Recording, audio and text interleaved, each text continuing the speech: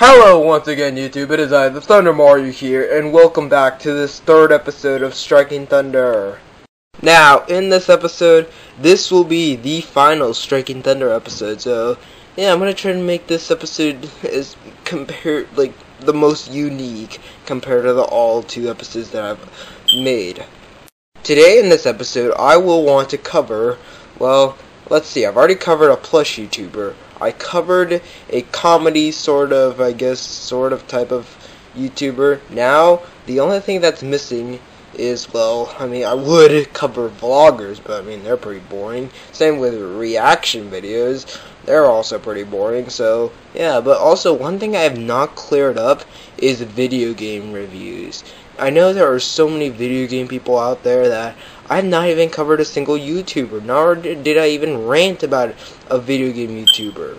So today, I'm going to cover a gaming YouTuber. And that gaming YouTuber that I'm going to cover is, well, Irate Gamer.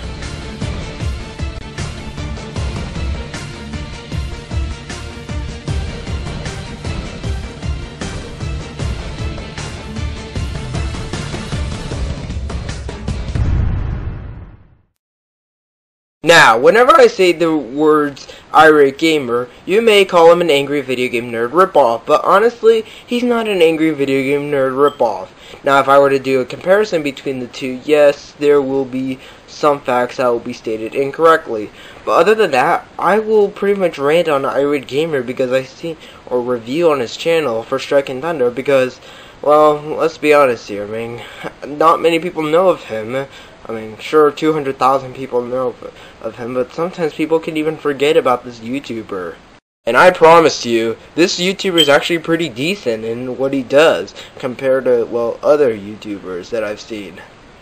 Now, considering this is the last Striking Thunder I'll ever do, now let me get the ratings from last year to and the year before, and let me see and well, I'm going to try and compare them to how well they will do this time. And I'm also going to do a last renew result. I'm going to renew my results from 2016. So let's get on with Super Mario Logan's results. Super Mario Logan got a B star, which is about a B plus in the school grade. So Yes, but now over the time, SML has changed so much to a point where he's been uploading ju several junior videos, and most of the times they don't end out very well.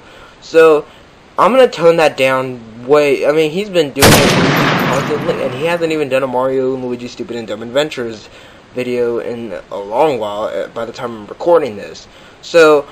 I'm gonna have to give him a C star, considering that's basically his grade for now and that's basically the change from 2014 to 2016. As in for Smosh, Smosh is doing about decent. I mean, Smosh is just still stuck at a B. I, there's really no change compared to last year to this year. So, yeah, Smosh still has the same grade, but Super Mario Logan has a C star now at this point. But now, let's look at Irate Gamer. What does Irate Gamer have for all of us? Irate Gamer is a gamer basically that, well, plays old games and that are really bad and goes through them and tries to beat the content. But not only does he just play video games and record himself do it, but he also manages to do it in the most unique way by having some sort of story throughout the video. For example, season 4 was probably of the Irate Gamer show is probably one of the best on his channel. I mean, it does have a story, has a lot of it's basically towards a story and has sketch comedy and all that stuff. And I mean, that's what I really like about Irate Gamer. Now, just because I like something about Irate Gamer doesn't mean it's gonna be all at an A star and that there's nothing wrong with this. Irate Gamer does have some few flaws. Now, one of his flaws is that Sure, he may not upload them frequently, but there are also series that he doesn't really do frequent at the time, such as Irate Gamer Neo and uh, Irate Gamer, his main show, but honestly, it's been two months since the last episode, and I mean, I can probably understand why, but that's not really a huge release to bump him down, so I mean, yeah, it doesn't really matter, so that's basically one thing about him. So, what about social media? What is he does he interact in terms of social media? Well, Irate Gamer interacts with Facebook, I believe so, and Google Plus, and well, Twitter, and even in Well, a website. Wait, have you noticed a pattern? All the YouTubers that I've already reviewed have a website? Jeez. Oh, that's pretty interesting. Irate Gamer is actually pretty funny in his own ways. I mean, he can be really entertaining and funny at the same time. I mean, this guy can make me even smile and even make me laugh at points. I mean, there's really nothing wrong I can find about this YouTuber besides the point that people keep saying that he is an angry video game nerd ripoff. But let me just say, he's not even an angry video game nerd, nerd ripoff.